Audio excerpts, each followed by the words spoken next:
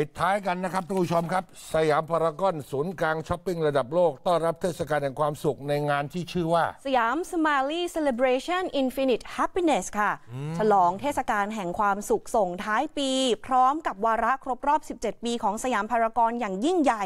เนรมิตทั่วทุกพื้นที่ให้เต็มไปด้วยสีสันของรอยยิ้ม ทั้งต้นคริสต์มาสและ Installation Art ตกแต่งด้วยสัญลักษณ์ Smiley ออ๋อสัญลักษณ์เนี้ยิ้มเนี่ยค่ะสมา Smiley ลีมอบความสุขความสดใส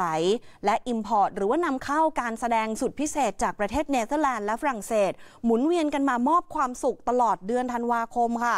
ทุกวันศุกร์เสาร์อาทิตย์ รอบ 17 นาฬิกาและ 18 นาฬิกาที่ Parc Paragon ชั้น M เข้าชมฟรีไม่มีค่าใช้จ่ายนะคะ โปรโมชั่นมีไหมอะแน่นอนนะคะ มีตั้งแต่วันนี้ถึง 15 มกราคม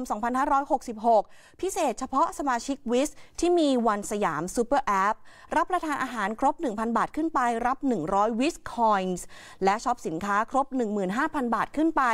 รับ 500 VIZ Coins 1 VIZ Coin เนี่ยมีค่าเท่ากับ 1 บาทนะคะ และพิเศษเพิ่มขึ้นอีกเพิ่มขึ้นอีก โอกาสฉลองครบรอบ 17 ปี ศูนย์การค้าสยามพารากอนตั้งแต่วันนี้ถึง 12 ธันวาคมนี้shop ครบ 17,000 บาท รับ 1,000 VIZ Coins ค่ะ